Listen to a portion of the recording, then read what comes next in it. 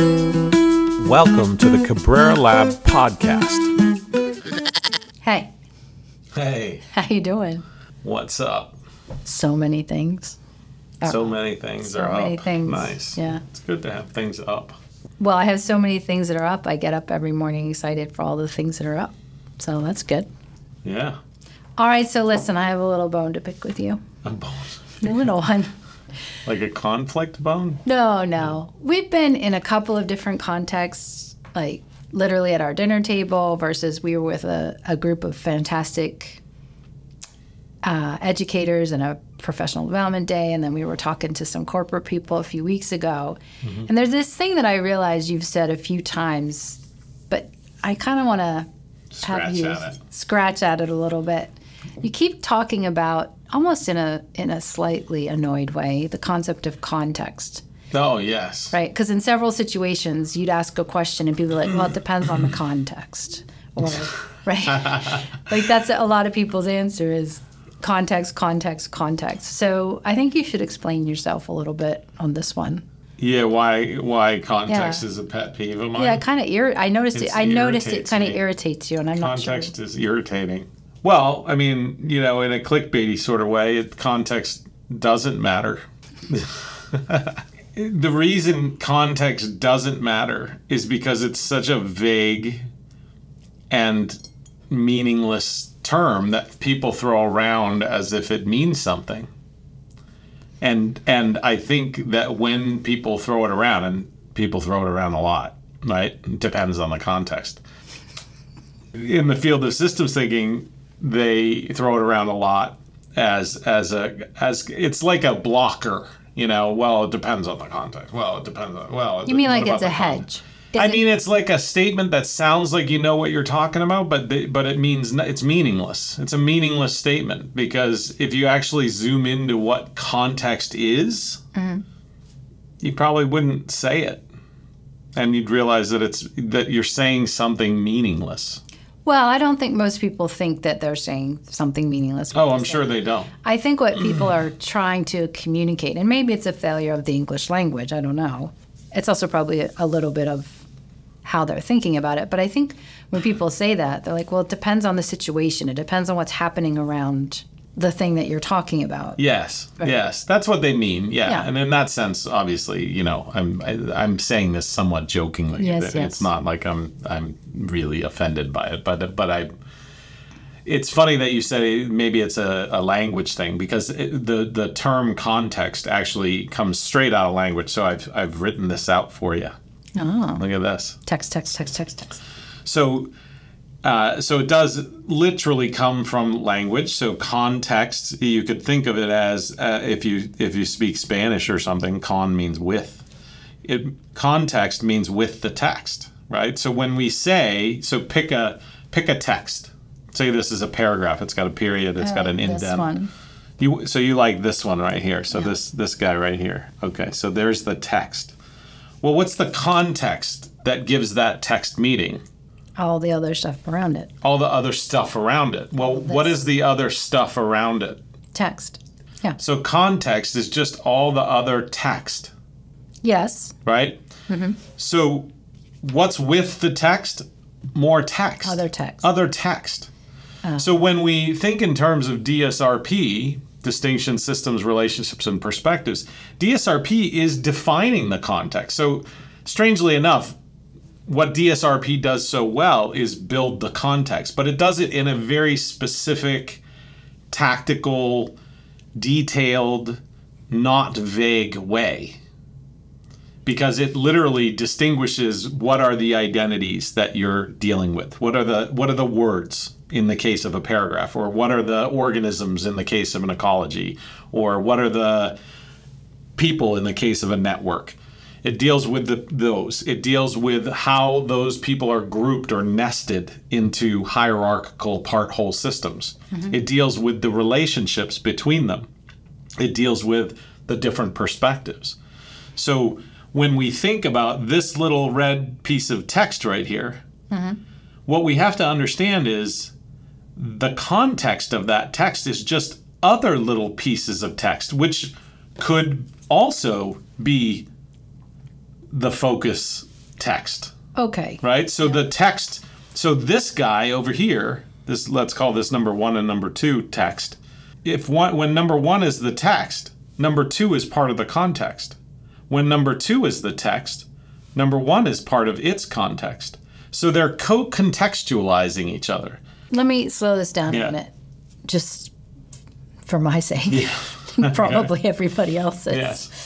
You said DSRP provides the context. Mm-hmm. So let me see if I can understand that. In this is in this case, this text Yeah.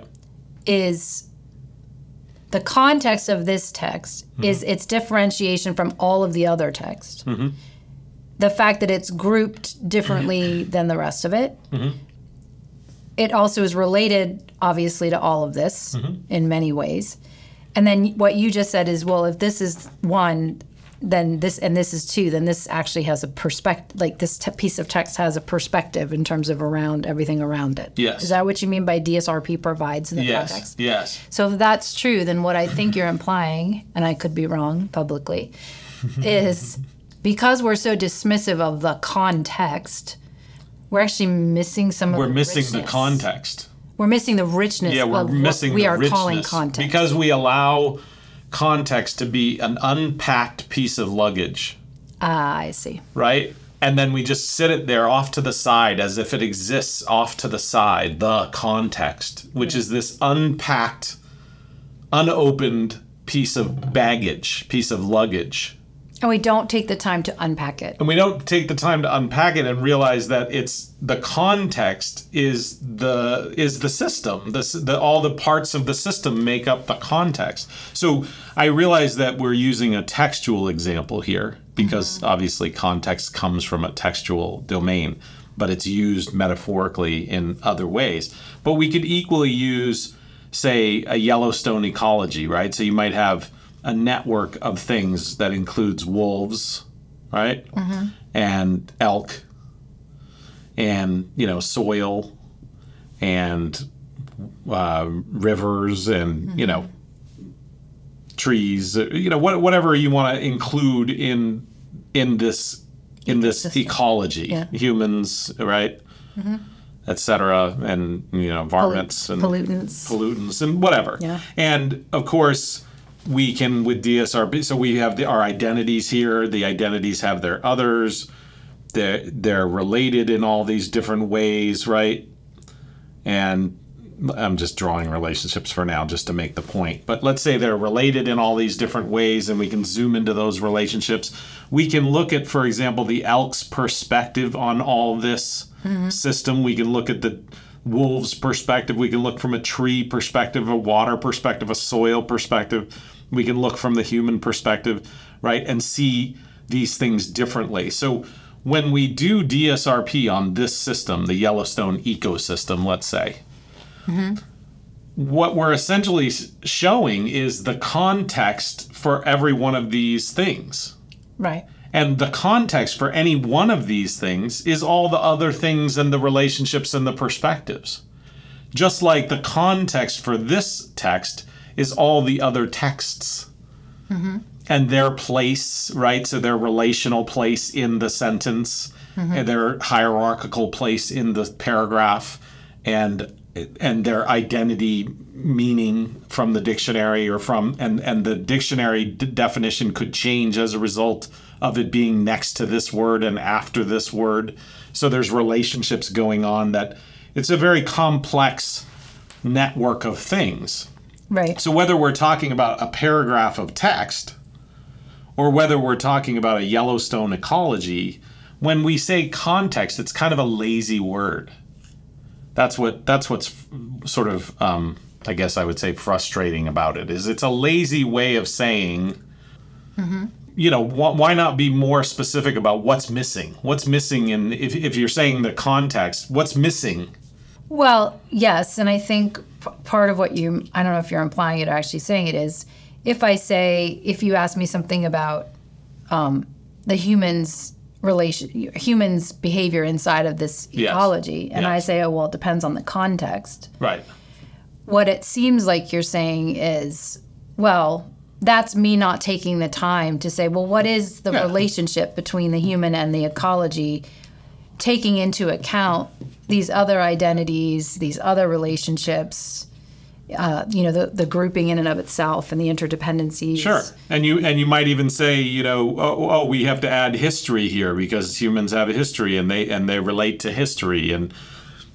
and you know something else, right? Uh, financial gain or you know whatever, and so they relate to that. Okay, that's a fair criticism that something's missing in your Right. analysis, Right. that something's missing in the system that you haven't considered. That's a fair criticism. But just simply taking this this sort of lazy baggage, this lazy suitcase that has wheels because it's so big, you know, and it's gonna, and and calling it context and setting it off to the side like it's something, and not unpacking it and realizing that it's actually perhaps here in front of mm-hmm. us, or perhaps some missing items that need to be added, Right. or missing relationships, or missing perspectives, or missing whatever. That's a fair criticism. It it kind of is a lazy way of of criticizing, or it's a lazy way of throwing up barriers to ideas. You're right. You're like brushing a lot of the problem. Yeah. You're, you're brushing a lot of the variables that could help you solve the problem under, Under a rug a suitcase, yeah. or a suitcase with wheels. the other thing is, it seems like when people purposefully pull things out of context, Yes. There's a reason they're doing that. That's absolutely right, and that that's that works the same in reverse. So this the same people who kind of use the context as a as a, a battle ax mm-hmm. they they will criticize reductionism. Well, what is reductionism? Well, reductionism is taking this relationship completely out of context, right? So they take it and they put it over here, right? Mm-hmm. And then they say something about this relationship that if you w- is true if you're just out here, but when you put it back in its context, it conflicts with certain other things that you might say about it. But that's a trick to get people to focus only on the thing Yes. you want them to focus on. Yeah. And and you actually don't want them to see the full picture. Yeah, or it, it- I mean, it's not all. It's not always like um, Duplicitous. duplicitous, right? I mean, a lot of a lot of research is done this way, and we, we Yeah. criticize this all Yeah, the yeah. time in in the research domain. That a lot of research is done in this very X causes Y experimental paradigm, and then we conclude things that are generalizable back to multiple contexts, and and you're like, well, not really. You you essentially surgically removed this this little barbell, this little relationship between X and Yeah. Y. You surgically removed it from its context. And I'm being very specific about what its context is, right? You removed it from its context and then you say something about it or you prove something about it. And that is another form of sort of the the reverse of ignoring context, right? So there's ignoring context, and then there's bringing context in as an unpacked Right. l- luggage that that sort of just gets in the way of real communication and real mm-hmm. synthesis and analysis or thinking, Right. real thinking. So maybe what are the I mean, I think it would be interesting to talk about the downfalls of that and the ways you can avoid doing that. You know, I mean, because it, you know, there aren't many things that irritate you. Well, it just irritates me because it's lazy, right? Like it's, Right. it's a lazy form of argument, and and it's so. I mean, you know, I forget who said it. F. Scott Fitzgerald or something said said you know the something to the effect of uh, true genius or true intelligence is when you can hold two opposing thoughts in your mind at once and you know right. not go insane or something like that, and and I you know I want to I want to say two things. One is context doesn't matter, Right. and context matters more than anything. And that sums up my frustration with it. Because it matters more than anything, we should have a we should have a method for unpacking it and stop leaving it packed because it matters so much, because context is so important, we should A, be able to unpack it. And B, when we think of context as being different than just text, mm-hmm. when we think of context being this thing that is separate from the text, then we really fundamentally miss the miss the idea. It, it's not separate from the text. It's the other text and the way that text is organized. So when we talk about mental models equals information and organization, mm-hmm. organization being D and S and R and P Yeah. patterns, the way that information is organized and the infor- the other information to any bit of information is the context. Right, but I'm gonna I'm gonna challenge you a little bit. I might actually annoy you for a Yeah, moment. that's fine. I, I gotta call it out. I, I think that's very confusing. So I I think if I were listening to this, I'd be like, I get why I should be seeing the context. Mm-hmm. I don't get why you're saying it doesn't matter. I don't understand. It doesn't matter when you treat it like this. why. because a it's packed and it's being utilized as a as an argumentative leverage tool so it's being sort of used to say i am going to criticize your thing by just putting up a wall of context that has so much vagary in it that it, it it's effectively meaningless mm-hmm. or it's being used incorrectly to say that it's somehow different than the text it is the text it's the other text. That's the context. Yeah. I get it. It's that. not a separate thing that is not text. It's the it's the information in the organization. So why doesn't it matter? It doesn't matter when it's used like this, like a like a unpacked baggage. Because you're acknowledging that it's there. I, I'm just saying the way that it's being utilized, somewhat manipulatively sometimes, and somewhat uh, um lazily, and other times unintentionally, yeah. unintentionally. Yeah.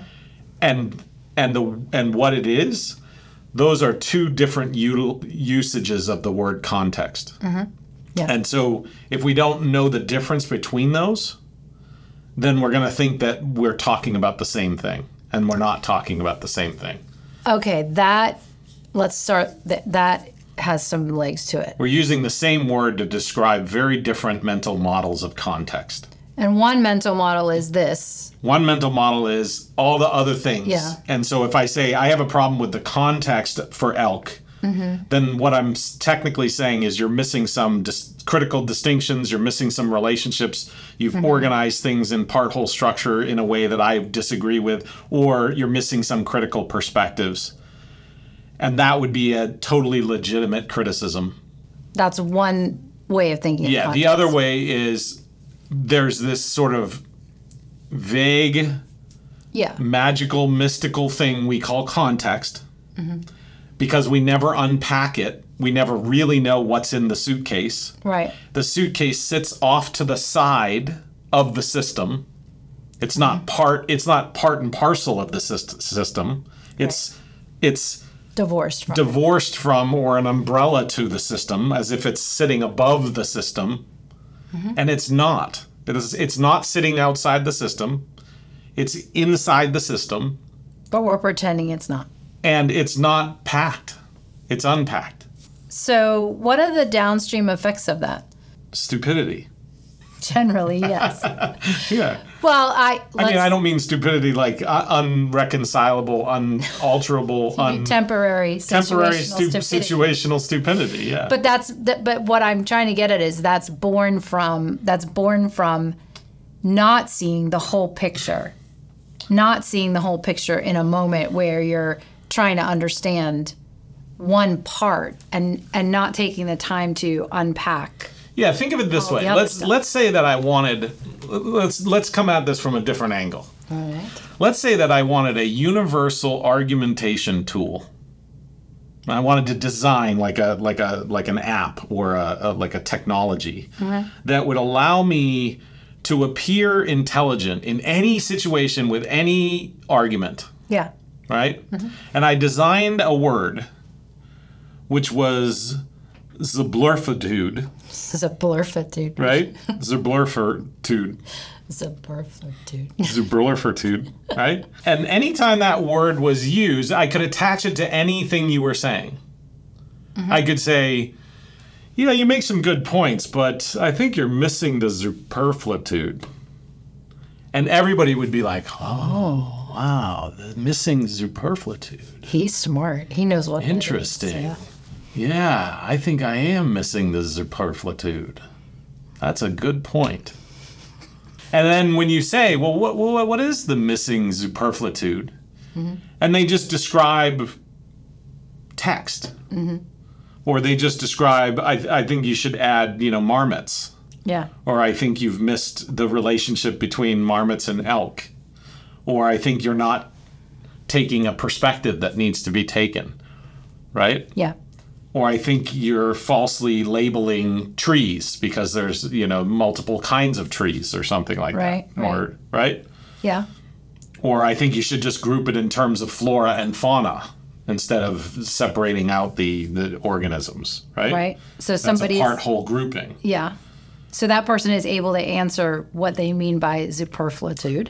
Yeah, but but superfluitude never gets the answer. It always is just like, well, I just think you're missing superfluitude. Meaning nobody ever questions what that is. Yeah, and it sits outside the system. Because because it's a magic it's a magic trick Yeah. of argumentation and cognition where you sort of just say yeah you just you're missing the superfluitude Well, when somebody does that, when you're in a say you're in an important conversation, Yeah. you're trying to solve a problem that has consequences, yeah and somebody does the oh it depends on the context thing, right you should stop and say, well, wait, what do you mean by that?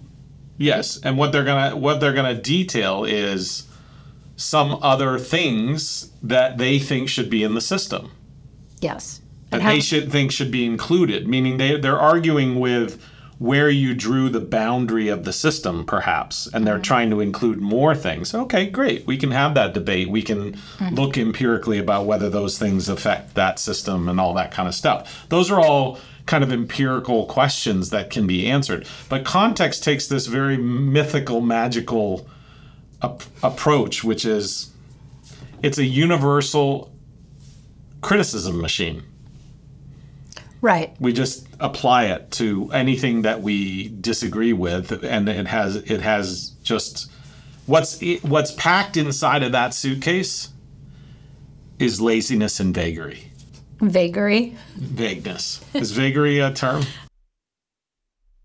so that's my frustration with the term and i you know i don't expect everybody to adopt this this this Frustration? frustration or anything but Well, yeah, I don't think it's about that. I think it's about I mean, you and I talk a lot and done a lot of research on shortcomings in human thinking, places where our thinking breaks down commonly and statistically across people. yes And, you know, um, observationally, we have seen that this is something that a lot of people do. They say, oh, well, it depends on the context, which sometimes in the moment seems like, brilliant well, it can seem brilliant, but also it can also be a moment where you think, oh, this person hasn't actually thought it through Right. a lot. right Or you could also say, um, maybe they haven't thought it through a lot, or they don't actually understand the context. So they are brushing over it because they don't actually want to go deeper That's into the thing you're thinking about. that's right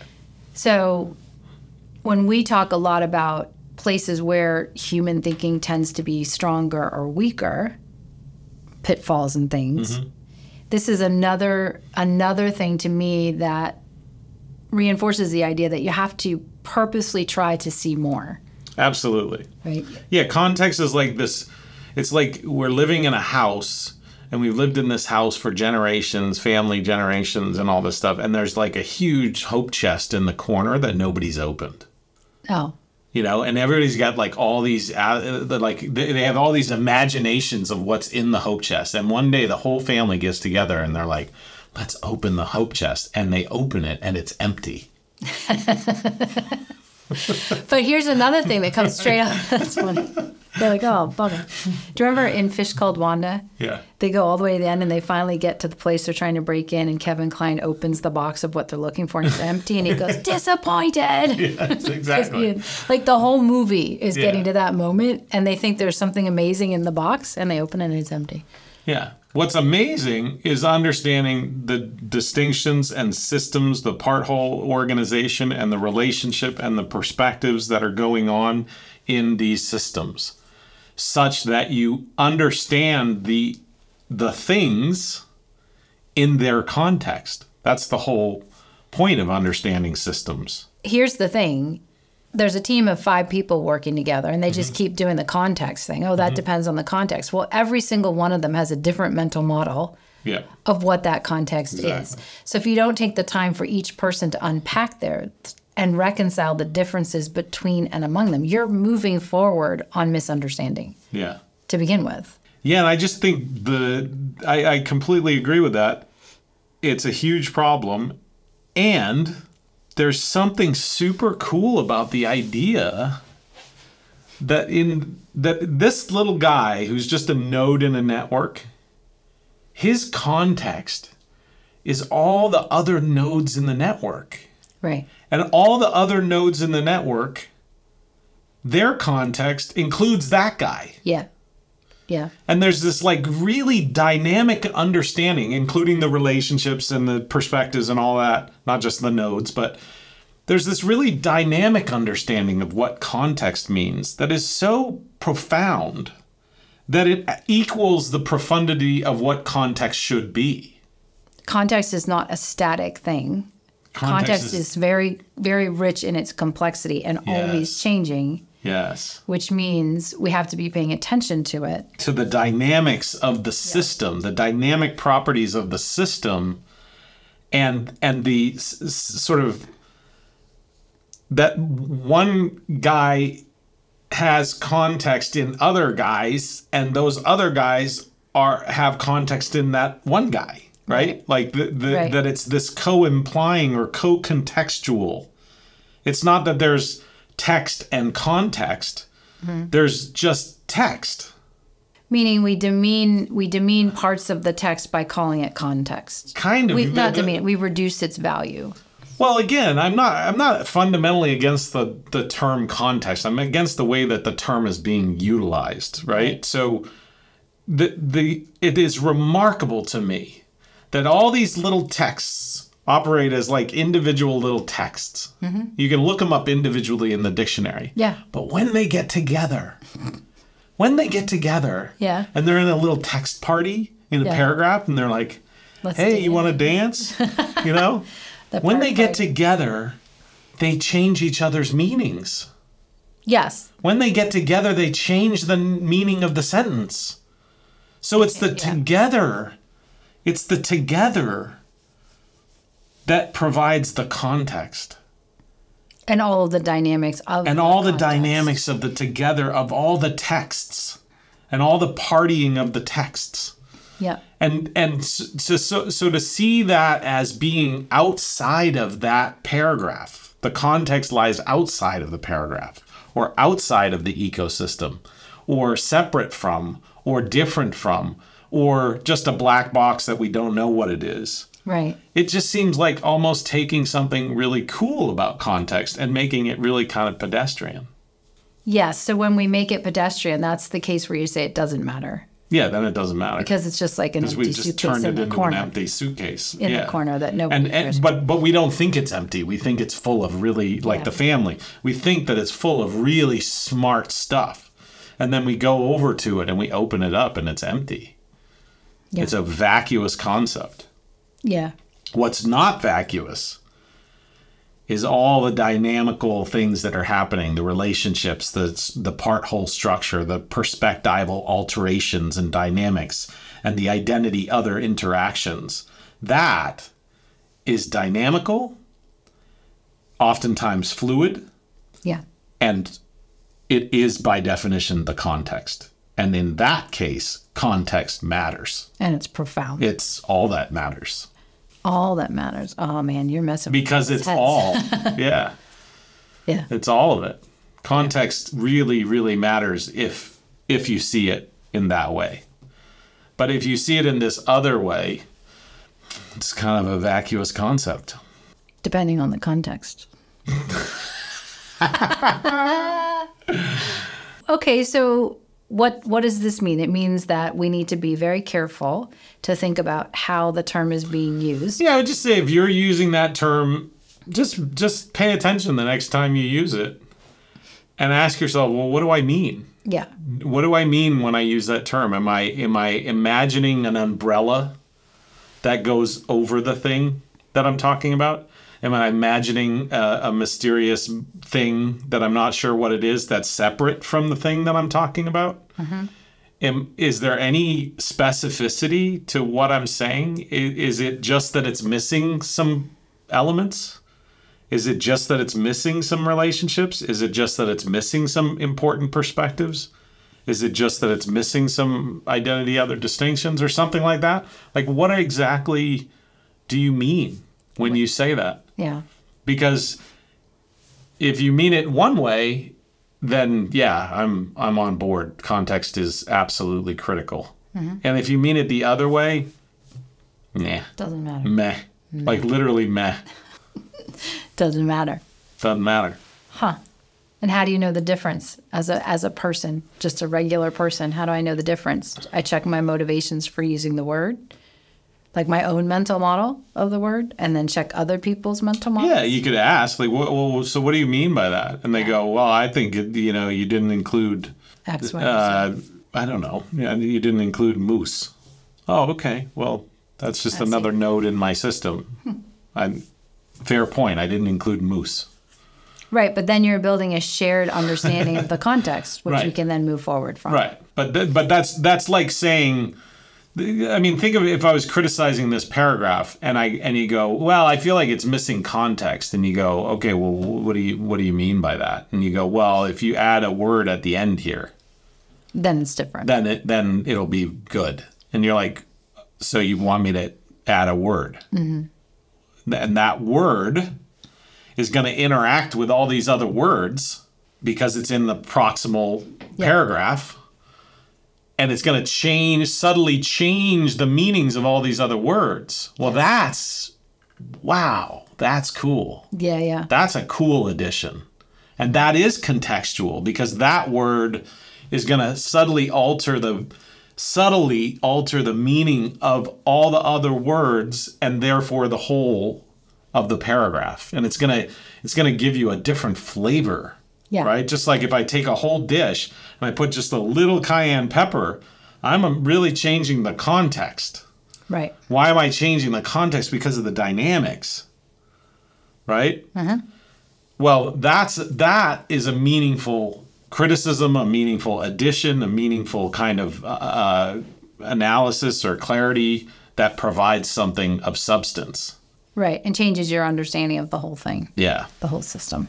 yeah, and understanding that that that happens, understanding that that that by just adding this or that word or this or that dynamical thing in here, Yeah. you can really change the the system, The whole thing. the whole thing, yeah, yeah. whether it's meaning you're building or understanding or you know whatever it is that you're trying to understand or build. So now that you've had a chance to articulate the source of your minor irritation in the moment, you know, why context, why the way we use it in so many different ways is slightly irritating. Yeah.